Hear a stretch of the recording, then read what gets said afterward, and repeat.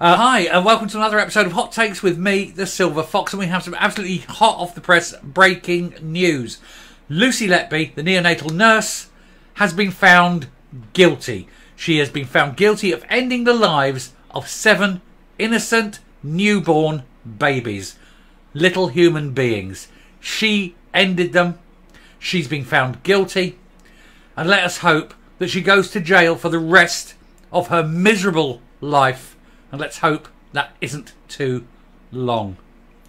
In any you know, sane, just world, she'd have been walked out of that court, had a rope put around, around her neck, and had a short drop.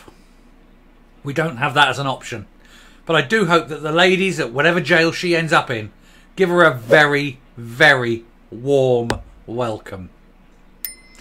We're going to have a look at this story. It's uh, it's a disgusting story of a disgusting piece of human filth who could even think of doing this to babies. I just hope that somebody thinks it's fun to give her a really shit time for the remainder of whatever life she can manage to scrape together. I hope every day is sheer hell. Let's look at this story. So, Lucy Letby is guilty of taking the lives of seven babies.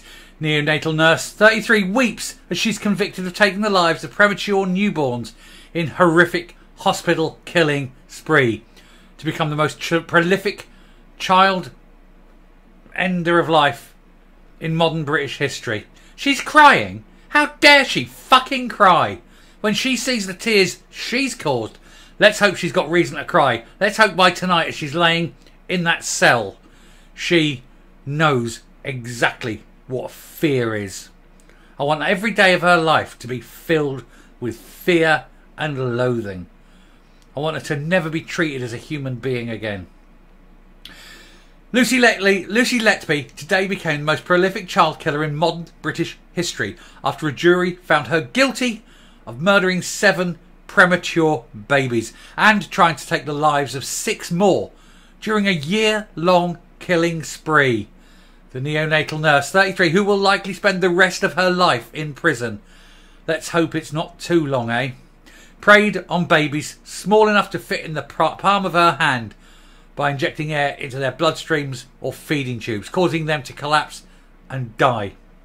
She attacked twins and murdered two boys out of a set of identical triplets within 24 hours of each other. Letby crying in court as the first of the guilty verdicts were returned her mother broke into a series of anguished sobs, which continued even after she'd left the court. And at one point she cried out, You can't be serious, this can't be right. Oh, it is right.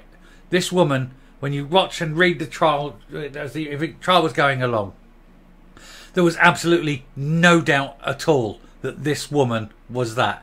I think they ought to take the bloody mother in. If that's the child you've raised, you're part of the problem, love.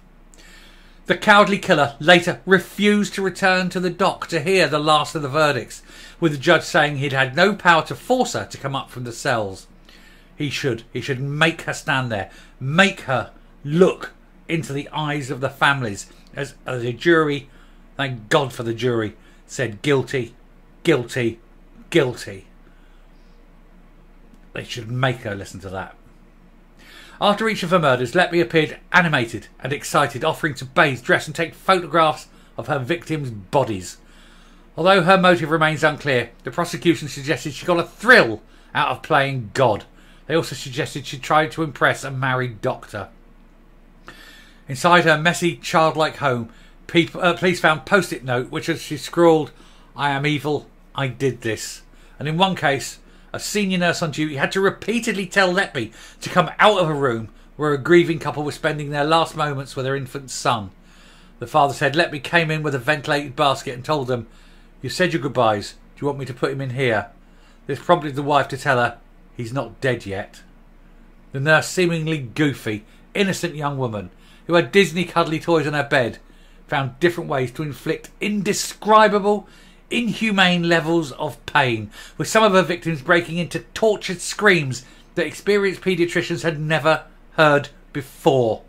Well, I would like to hear those tortured screams. I would like to hear the screams of those babies, but I want to come. I want them coming out of her mouth every day of her life. however long she lives. I want those noises to come out of her. She got away with her killing spree despite consultants repeatedly trying to blow the whistle to managers about the spate of deaths on her watch. Dr. Ravi, but it's the managers as well. Managers as well, isn't it? It's always fucking managers. Dr. Ravi Jayaram, a TV medic who appears on this morning, said he was fobbed off by nurses after his email warning about Letby prompted the response, It's unlikely that anything is going on.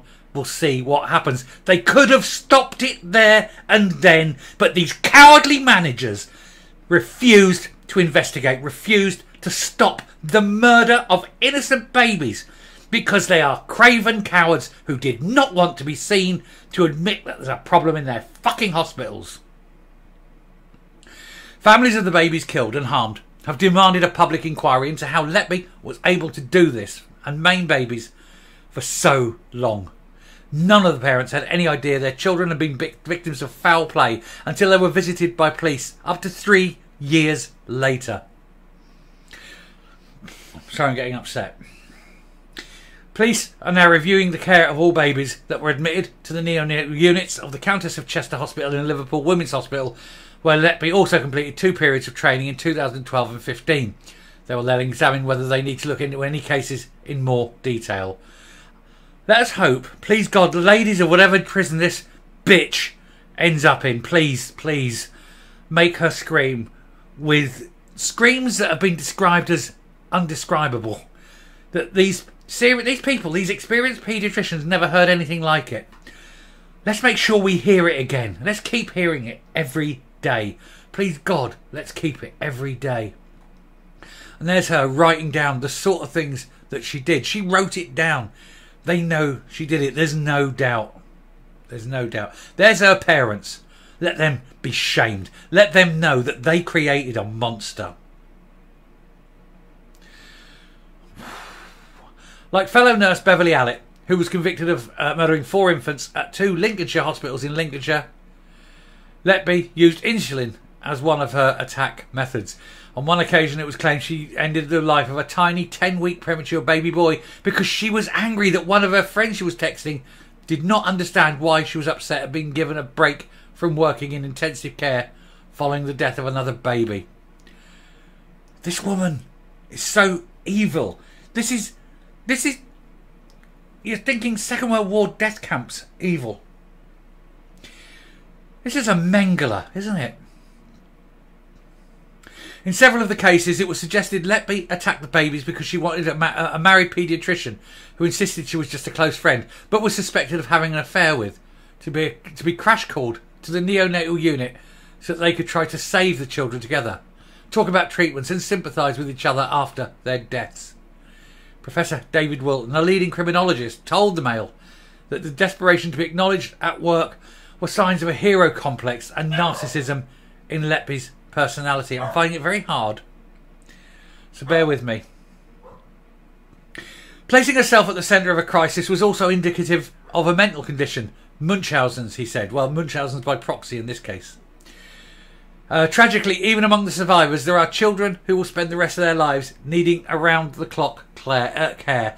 And sources close to the investigation told the Mail that an independent inquiry was needed to get to the bottom of how Letby was allowed to get away with her crimes so long. It's because managers were trying to cover it up.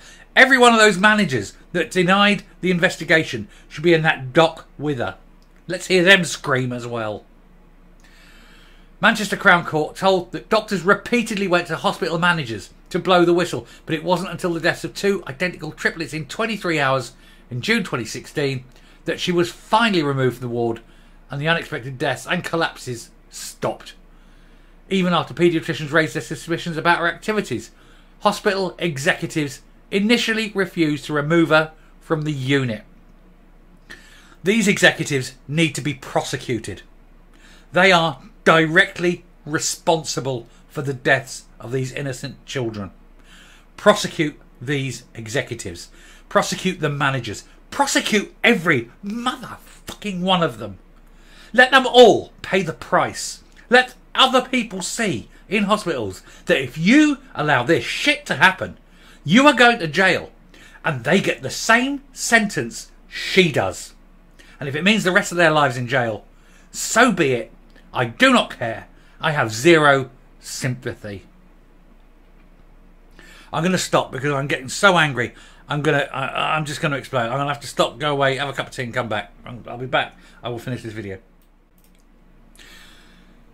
Okay, I'm just going to say now that I've calmed down a bit that I'm not going to try and finish this video in any other way. Uh, all I'm going to say is this.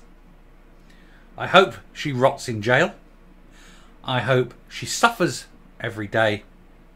And I think we need to prosecute every manager and executive of that hospital to the same degree as her. That would send a message out to every other hospital that this would never happen again. Thank you very much for watching. I apologise for my emotion in this video. Try to be um, try to be distant, and I'm I'm very upset. Uh, the more I read and the more I know about this, and it is utterly I I it just gets to me. I thought I used to be hard. I think the older you get, I think somehow the softer you get. Um, and so if my emotions come through on this video, I apologise. And I'd ask you to like the video, just like the video because it's a very difficult video to like. But please like the video so that we can get this out. Thank you.